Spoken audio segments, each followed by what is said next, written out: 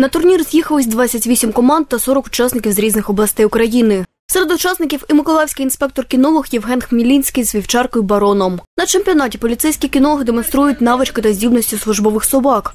Разом з собаками долають смугу перешкод. Попереду два бар'єри. Підтримаємо учасника і його чотирьох.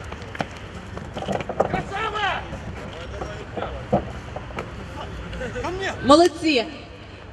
Потім стрибок з однієї перешкоди на іншу й віраж на шляху до двох останніх етапів.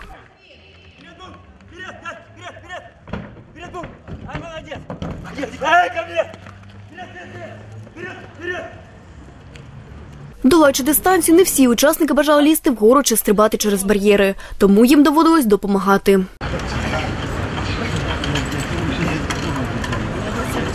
Чемпіонат триватиме до 9 серпня. Цього дня відбудуться змагання із затримання умовного порушника закону.